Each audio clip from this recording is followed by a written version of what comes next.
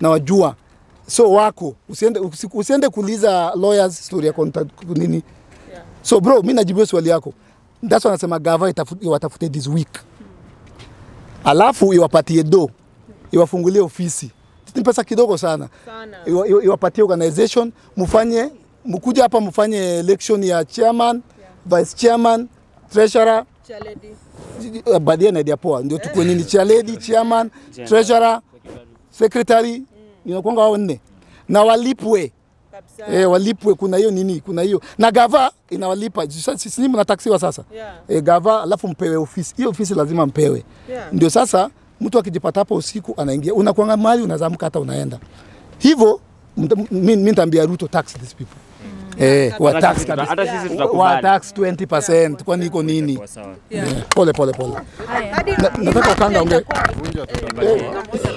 Hapa la ndani hili. ndio kanga kuja tuambie eh Uh, kulikuwa na ucha, kulikuwa na kuna watu walikuwa wanateuliwa, aliona mm. mwenzetu Asiad alichaguliwa na wengine Kina Claudia Na Isabwa. watu- wengi walikuwa na expect Eric Omondi atakuwa pale juu Eric ndio amekuwa akipigania watu. Mbona hatukuoni pale Mr. President? Nini walihofia kwako? Eh, usi- unajua waliofia nini alafu alafu pia wale watu haku- kuna kazi wamefanya hakuna kazi pale. Alafu mimi Hakuna. mimi nimekuambia siko azimio siko UDA siko na Ruto siko na sijui nani. Yeah. Uko na eh, mimi niko na sitaki mimi sitaki kazi ya serikali. Hmm. mimi nataka serikali ipeane kazi kwa vijana.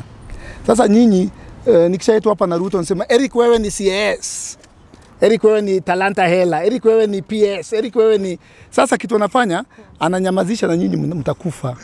Eh, mimi mimi nishapigiwa na simu kutoka State House last month. Niende nikutane na mtu fulani sitasema.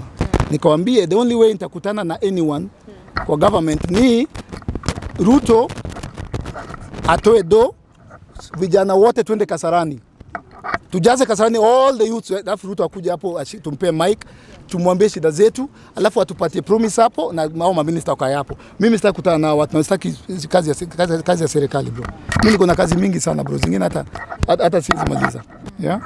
So nataka Wakanga bro, mimi ni fan wako sana Kasoti, eh, kazi poa hapa. tunang'ang'ana tu, Mimi nakuangalia hapa lazima tusukume serikali. eh. ukiogopa uki, ukiogopa nchi itaenda mbaya. mimi ndakuambia mbele ya watu.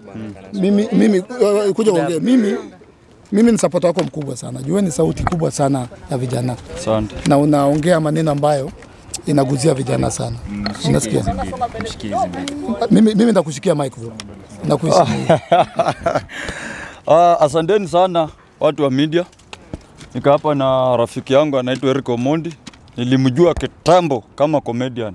Pale Machachari. Basi Nilikuwa nakupenda sana pale. asante Siku ingeisha hiyo siku ya Machachari, Yes. lazima niangalie Rico Omondi amesema nini. basi So pia wewe ni sauti ya Wakenya, asante sana kwa sababu zile vitu unafanya hii town mm. sio vitu za kawaida. yes zinataka yule mtu ambaye amejitolea. Kitu ya kwanza uamue kupigwa risasi, yes kitu ya pili uamue kwenda jela, yes na wewe umeamua hizo vitu zote. nishaamua So tuzidi kupigania wananchi, kwa sababu hawa wananchi tukinyamazishwa sisi wote hawa watakufa njaa.